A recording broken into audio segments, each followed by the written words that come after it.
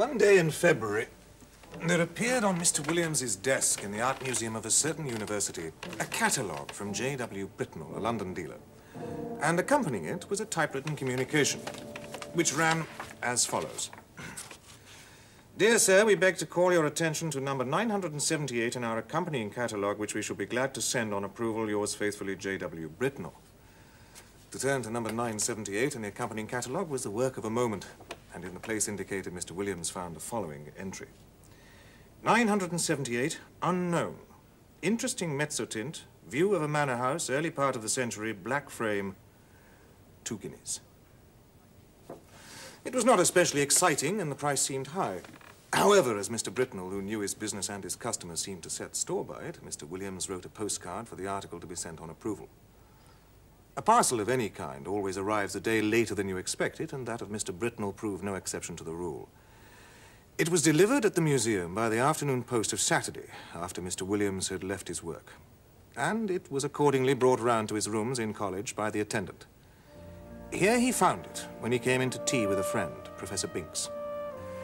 It was a rather indifferent mezzotint, and an indifferent mezzotint is perhaps the worst form of engraving known.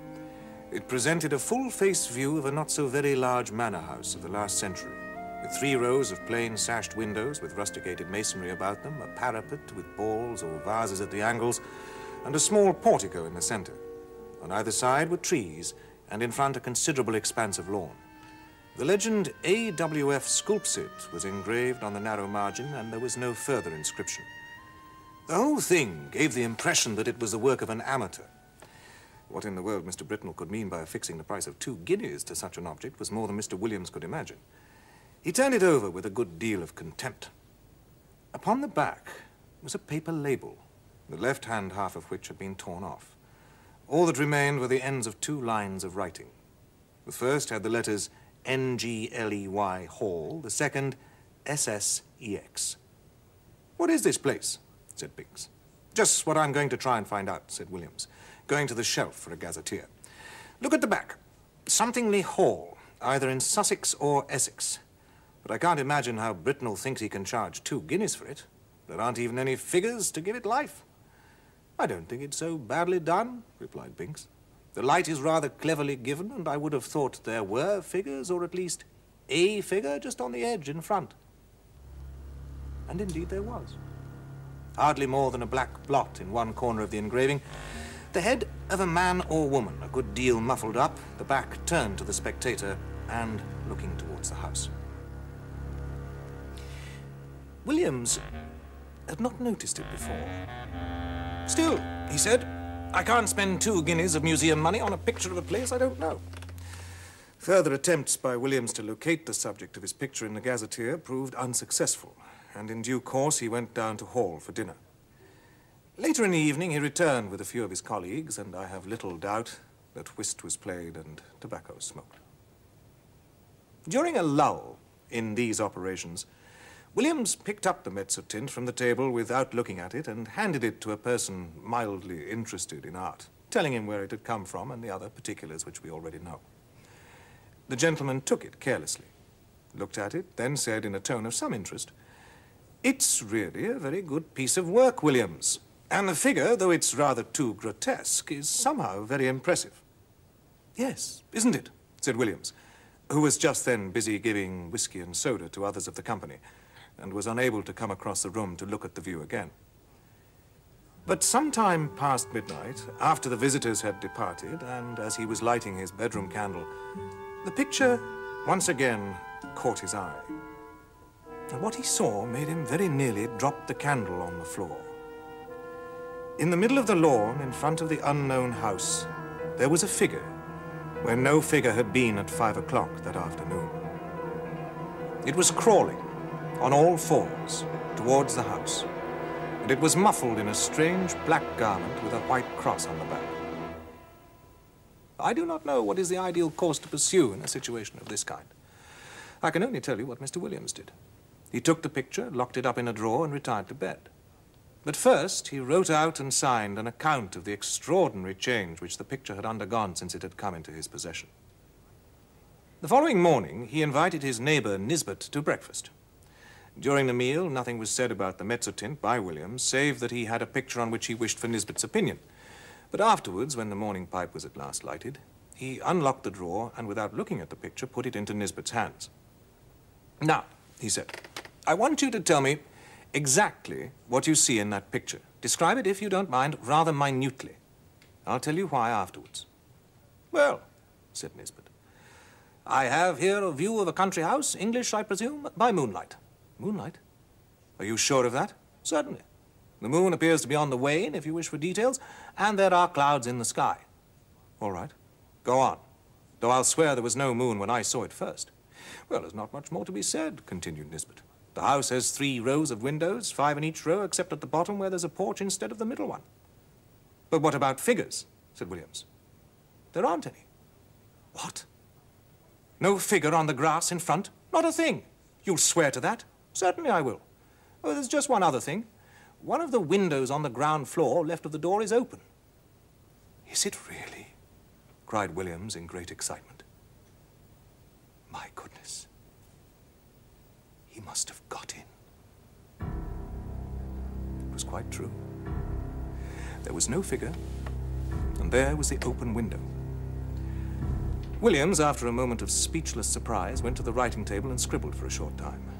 Then he brought two papers to Nisbet and asked him first to sign one, his own description of the picture, which you've just heard, and then to read the other, which was Williams's statement written the night before. Yes, said Nisbet. I expect you're right. He's got in. It looks very much as if we were assisting at the working out of a tragedy somewhere. The question is, has it happened already? Or is it going to come off? We must find out what the place is and get this thing photographed before it goes further. While Nisbet dealt with the photograph, Williams went in search of Mr. Green, who had been college bursar for many years. The college had property in Sussex and Essex, and Green had travelled widely in both counties. However, he was not to be found for the moment. His business had taken him to Brighton, and he was not expected to return until the following day. What do you mean to do now? asked Nisbet. Are you going to sit down and watch the picture all day? Well, no, I think not, said Williams. I rather imagine we're meant to see the whole thing. And besides, I have a kind of idea that it wouldn't change much, if at all, in the daytime. We might go out for a walk this afternoon and come into tea or whenever it gets dark. I shall leave it out on the table here. My skip can get in, but no one else. It was five o'clock when they returned to Williams's rooms. The first thing they saw was the picture leaning up against a pile of books on the table, as it had been left. And the next thing was Williams's skip seated on a chair opposite, gazing at it with undisguised horror. He was a servant of considerable standing, and nothing could be more alien to his practice to be seen sitting on his master's chair or appearing to take any particular notice of his master's furniture or pictures. Begging your pardon, sir, he said, but it ain't the sort of picture I should hang where my little girl could see it. If she were to catch a sight of this skeleton here, or whatever it is, carrying off the poor baby, she would be in a taking. It don't seem a right picture to be laying about, sir, not where anyone that's liable to be startled should come on it. With these words, the excellent man went to continue the round of his masters, and you may be sure the gentleman whom he left lost no time in re-examining the engraving. There was the house, as before under the waning moon and the drifting clouds. The window that had been open was shut, and the figure was once more on the lawn. But not this time crawling cautiously on hands and knees. Now it was erect and stepping swiftly, with long strides to the front of the picture. The moon was behind it, and the black drapery hung down over its face so that only hints of it could be seen and what was visible made the spectators profoundly thankful that they could see no more than a white dome-like forehead and a few straggling hairs. The head was bent down and the arms were tightly clasped over an object which could be dimly seen and identified as a child. Whether dead or living, it was impossible to say. The legs of the appearance alone could be plainly discerned, and they were horribly thin. From five to seven, the companions sat and watched the picture by turns, but it never changed. They agreed at last that it would be safe to leave it while they dined in the hall. When they returned, the figure was gone, and the house was quiet under the moonbeams. There was nothing for it but to spend the evening over gazetteers and guidebooks. Williams was the lucky one at last. And perhaps he deserved it. At 11.30 p.m., he read from Murray's Guide to Essex the following lines. 16 and a half miles, Anningley. The church has been an interesting building of the Norman date, but was extensively classicized in the last century.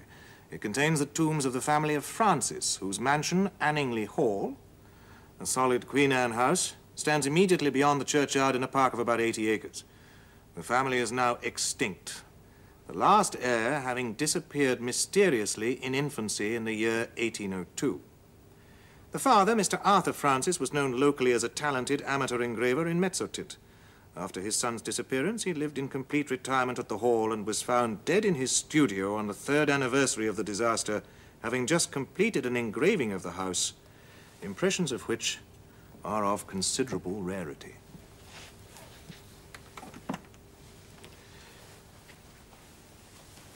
The next day, Mr. Green the bursar returned from Brighton and was at once able to identify the house as Anningley Hall. Is there any kind of explanation of the figures, was the question which Williams naturally asked. I don't know, I'm sure. What used to be said in the place when I first knew it was that old Francis was always very much down on poachers, and by degree he got rid of them all but one.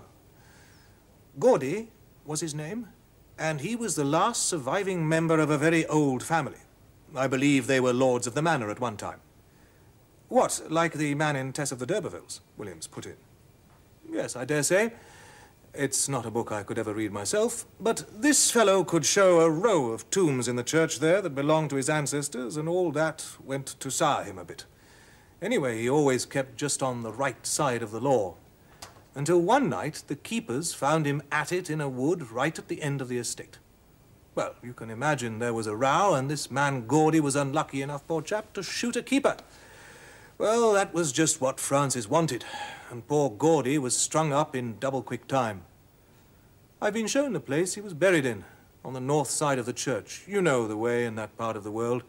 Anyone that's been hanged or made away with themselves, they bury them that side.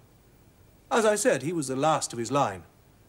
And it was always rumored that some friend of his must have planned to get hold of Francis's boy and put an end to his line, too. I should say now that it looks more as if old Gawdy had managed the job himself.